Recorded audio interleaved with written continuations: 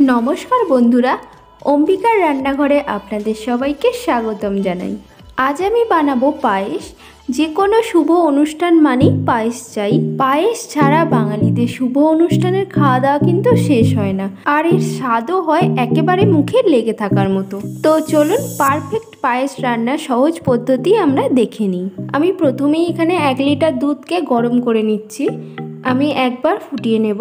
খুব বেশিক্ষণ ফোটানোর কিন্তু দুধটা প্রয়োজন নেই। একবার ফুটে উঠলেই দুধটা আমি নামিয়ে রেখে দেব। দেখুন, দুধ ফুটে উঠেছে, এবার নামিয়ে রাখব। এবার আমি কাজু কিশমিশ নিয়ে নিয়েছি। কাজু বাদামটা কিন্তু আমি ভিজিয়ে রাখিনি। আর কিশমিশটা দশ মিনিট মতো ভিজিয়ে রেখেছিলাম। এবার একটা কড়াইতে আমি ওয়ান টেবিল স্পুন ঘি দিয়ে দিয়েছি। ঘিটা গলে গেলে আমি এতে দিয়ে দেব কাজু বাদামগুলো। আমি গ্যাসের ফ্লেমটা কিন্তু কমিয়ে রেখেছি। গ্যাসের ফ্লেম কমিয়ে না দিলে কিন্তু ঘিটা জ্বলে যাবে। এবার কাজু বাদামটা আমি একটু লাল লাল করে ভেজে নেব। খুব লাল না, একটু জাস্ট লাল বর্ণ ধারণ করবে সেরকম। এবার আমি ভিজিয়ে রাখা কিশমিশগুলো দিয়ে দিলাম। কিশমিশগুলো দিয়ে বাদামটার সঙ্গে আরেকটু ভেজে নেব। কিশমিশ আর কাজু বাদামটা আমি মোট আমি এক থেকে দেড় মিনিট মতন ফ্রাই করে নেব। এবার আমি এটা একটা প্লেটে তুলে রাখছি। এবার এই কড়াইতেই আরও ওয়ান টেবিল স্পুন মতন ঘি দিয়ে দিলাম। এতে একটা তেজপাতা দিয়ে দিচ্ছি।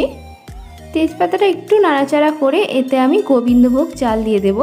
আমি এখানে একশো গ্রাম গোবিন্দভোগ চাল দিচ্ছি। যেহেতু এক লিটার দুধ, তাই আমি এখানে একশো গ্রাম গোবিন্দভোগ চাল দিচ্ছি। এখনও কিন্তু গ্যাসের ফ্লেমটা কমিয়েই রাখতে হবে। এখানে যে আমি চালটা ঘিয়েতে ভাজছি সেরকম নয়।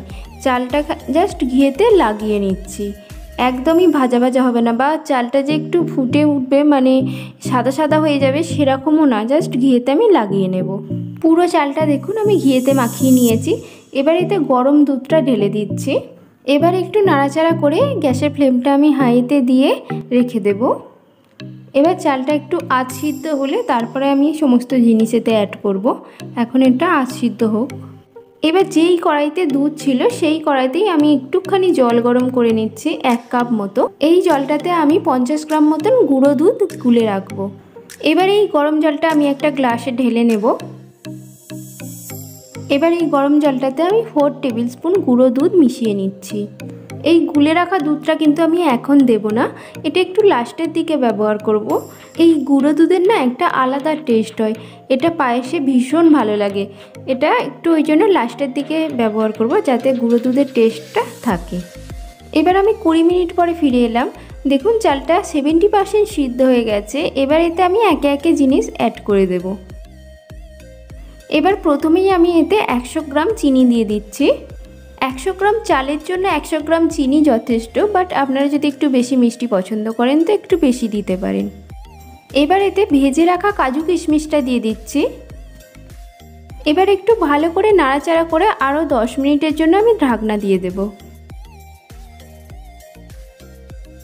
এবার আমি দশ মিনিট পরে ফিরে এলাম। ভীষণ ভালোভাবে সিদ্ধ হয়ে গেছে চালটা। এবার আমি এতে দিয়ে দেব গুলে রাখা দুধটা।